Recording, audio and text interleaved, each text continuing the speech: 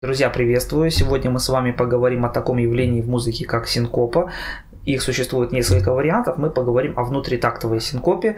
Вначале немножечко теории, а потом я наиграю вам мелодию из кинофильма «Титаник», где встречаются э, внутритактовые синкопы, и вы уже сможете потом порепетировать на практике, скачать табулатуру и сыграть эту композицию.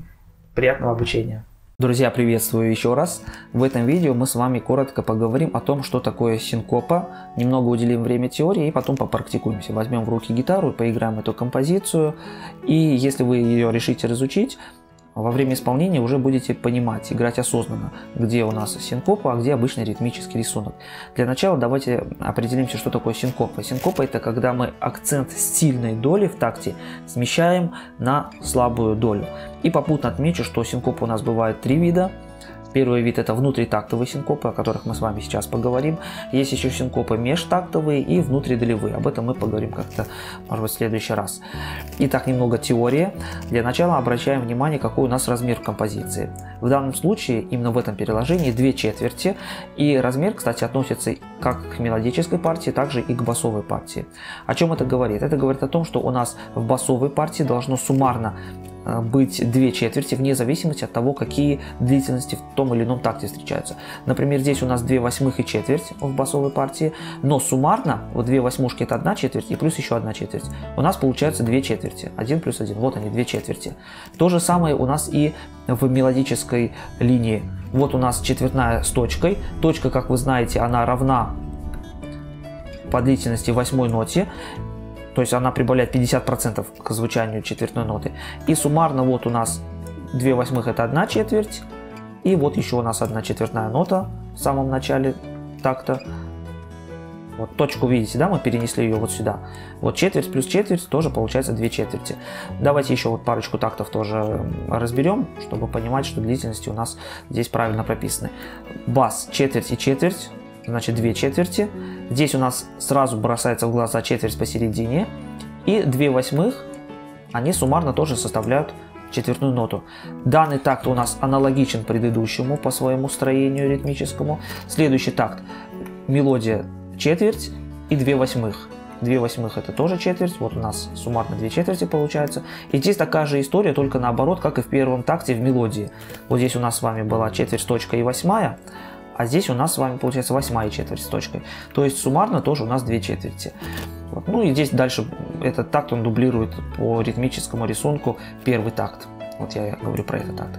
Хорошо. Значит, э, в плане длительности ноты размеры мы с вами определились. Теперь поговорим по поводу синкоп акцентов, потому что вот сейчас мы плавненько к этому все подводили. Вот смотрите, проще всего нам, пожалуй, будет начать с первого такта.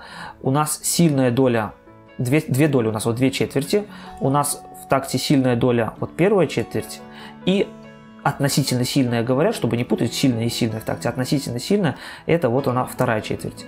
Значит, если разбивать по восьмушкам, у нас получится раз и, два и. Так вот разделим эти две доли. Что такое синкопа? Синкопа это когда мы акцент, вот повторим это определение, которое в самом начале давали, акцент сильной долей, ну или относительно сильной доли, мы смещаем на слабую долю. Давайте вот теперь вот в этом такте у нас синкоп нет в первом, а вот во втором такте у нас синкопа сразу же бросается в глаза. Вот этот э, момент. Как раз таки, смотрите, э, у нас сильная доля должна быть вот здесь, да, вот у нас первая четверть и вторая четверть. Вот сильная доля и относительно сильная доля. Значит, эта нота, она по сути должна была бы начинаться вот здесь. Вот здесь вот. Но из-за того, что она сдвинута с сильной доли на слабую, значит у нас получается синкопа. Вот мы считаем раз, и на И, вот И у нас слабенькая доля, да, и на И как раз таки начинает звучать вот эта четвертная нота. Дальше у нас на 2 ничего нет. Видите, пустота. Здесь нет никаких нот. Только бас звучит, басовая партия. Мы сейчас говорим конкретно про партию, про мелодическую партию. И только на И у нас получается нота. Вот у нас это вот это сильная и вот это относительно сильная э, доля. Здесь у нас ничего нет. Вот пустота, поэтому э, синкопа в этом такте присутствует. То же самое у нас вот в этом такте. Сильная доля, тоже сильная относительно. Вот у нас слабая доля, Давайте и напишем. И вот тоже слабая доля. Здесь у нас никакой ноты нет. Нота сдвинута на слабую э, долю, поэтому у нас тут явная синкоп. Сейчас мы все это еще поиграем на гитаре. Здесь у нас в мелодической партии никаких синкоп нет, вот у нас сильная доля, и вот здесь вот начинается вторая доля. Тут у нас совпадает, нота присутствует, поэтому э, все звучит э, прекрасно.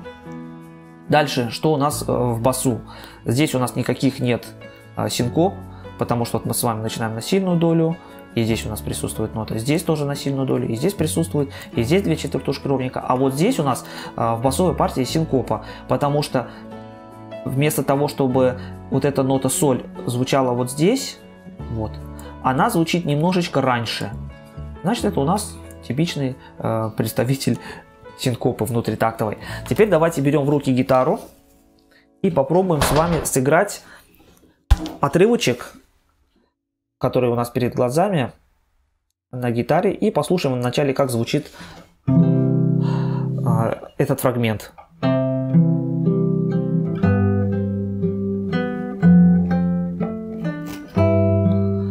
Я играю прям по нотам.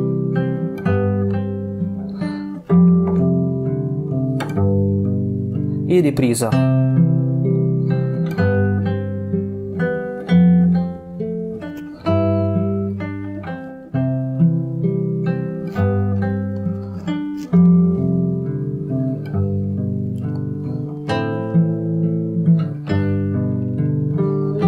так далее, там уже пойдет продолжение мелодии. Мы играли с вами как есть, как написано в нотах. Теперь смотрите, что мы с вами сейчас делаем. Мы немножечко сдвинем вместо оригинального исполнения, уберем синкопу, то есть сыграем вот эту ноту, восьмушку, как четвертную, как будто бы у нас нет вот этого вот флажка хвостика. А эту ноту условно передвинем вот сюда, и, соответственно, она у нас будет восьмой нотой, вот соединим ребром. То же самое мы проделаем вот с этим тактом. Здесь у нас будет обычная четвертная, без этого хвостика, а здесь мы сыграем две восьмушки. Дальше мы ничего менять не будем, потому что там у нас мелодии, в принципе, четверти, две восьмых, все ровненько. Итак, играем без синкоп. Послушайте, как мелодия сразу же теряет э, всю свою изюминку.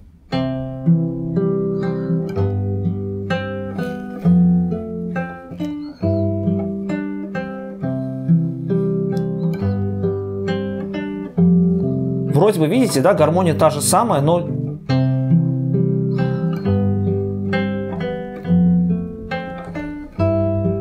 звучит очень банально. Хотя даже аранжировка такая вот прям простейшая. А теперь опять играем синкопой.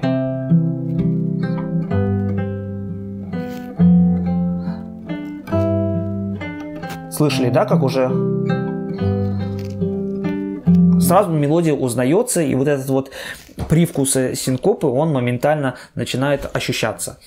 Ну что ж, я думаю, вот так вот в двух, в двух словах мы с вами поговорили о том, что такое синкопа, и на слух поиграли, и теоретически, визуально с вами научились синкопы определять внутритактовые. Здесь мы брали такой простой пример, где восьмые четвертные ноты, синкопы бывают и на шестнадцатых нотах, а, и на половинных, на каких угодно, поэтому Просто для примера мы взяли эту мелодию. Хорошо, репетируйте. Я сейчас эту композицию сыграю уже от начала до конца для вас э, на гитаре. И табулатуру прикреплю, как всегда, под этим видео. Желаю приятных репетиций, добра и мира. Счастливо!